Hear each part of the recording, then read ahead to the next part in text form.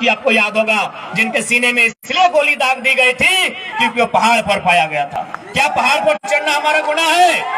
आज माननीय राज ठाकरे, माननीय ओवैसी साहब को दिखता है अगले समुदाय का दर्द।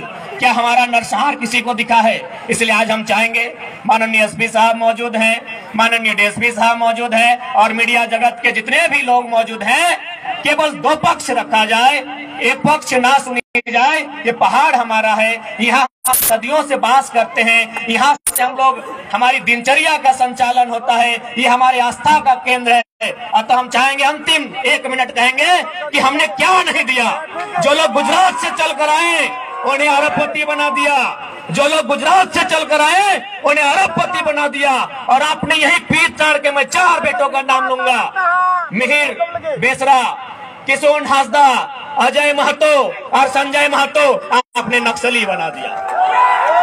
आपके लोगों को हमने अरबपति बनाया।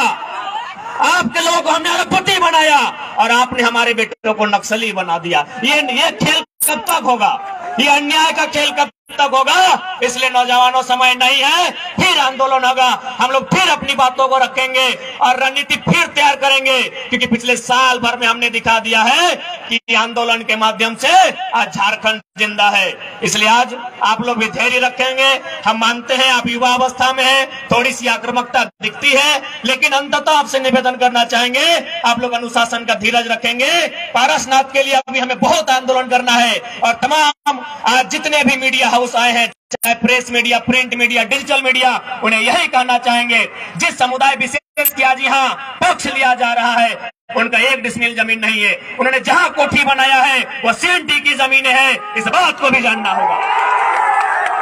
साथ ही साथ, मैं आपसे निवेदन आप इस बात को विस्तार